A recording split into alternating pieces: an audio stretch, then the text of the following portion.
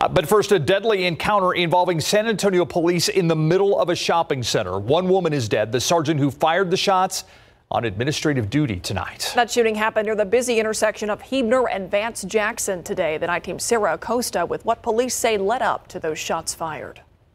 This is not normal for this side of town.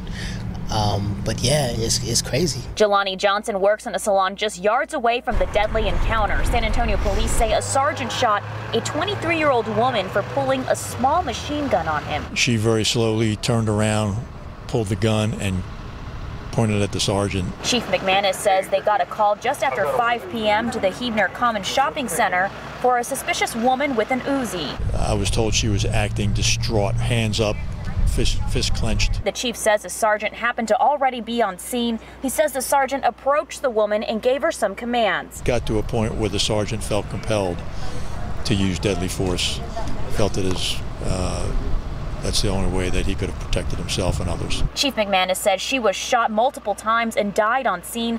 Investigators believe she did not fire her gun. The sergeant was not hurt. The surrounding businesses were closed early because of the shooting. It, it has affected the business, but you know, this is a tragedy.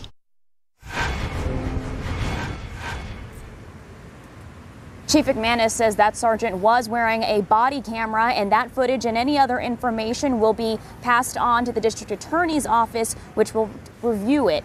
That sergeant has been with the force for 23 years. He's been placed on administrative duty until the investigation is done. Myra.